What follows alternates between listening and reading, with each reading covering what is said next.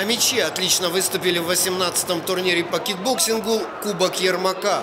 Около 300 спортсменов из семи регионов состязались в пяти разделах – full contact, К1, full contact с low-kick ом, light contact и point fighting – Наши кикбоксеры завоевали 53 золотые медали.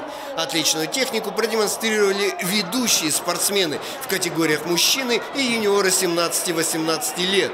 Самую яркую серию поединков выиграл победитель Кубка мира Ильдар Бигалин. Сегодня у меня здорово получилась работа вторым номером. Я как бы перехватывал его удары. И, ну, удары правый, прямой, левый сбоку. И там добавляли low-kick и. Как бы не забывали защиты, чтобы не потерять баллы. Ну, в принципе, всю тактическую подготовку выполнил правильно. Бой выиграл безоговорочно, 3-0. Все, спасибо моим тренерам.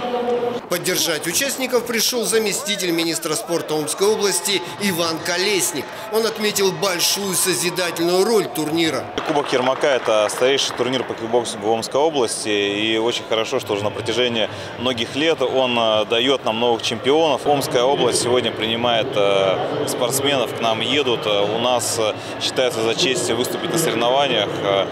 И конечно, я думаю, у турнира большое будущее. В рамках торжественной церемонии открытия Иван Колесник вручил почетные знаки, благодарственные письма и грамоты Министерства спорта Омской области. Знак судьи всероссийской категории получили Александр Дмитриенко, Екатерина Башкатова, Филипп Салугин, Рада Мацанин. Ярким событием стало чествование омского спортсмена Дмитрия Киреева, завоевавшего золотую медаль на чемпионате мира по кикбоксингу. Ему вручили кубок и денежное поощрение. Именно с этого турнира, по сути, началась такая моя большая карьера. Э, выступал и в.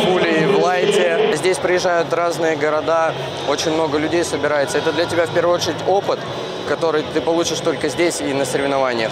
И это очень хороший толчок, я считаю, для последующих турниров.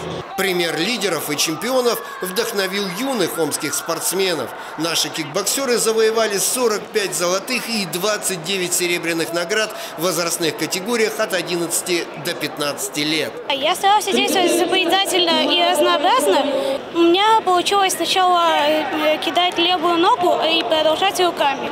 Э, левой ногой я его выталкивал, тем самым он заходил за пределы. И э, руками я его уже добивал. В результате амичи завоевали более 120 медалей и выиграли главный командный приз соревнований – Кубок Ермака.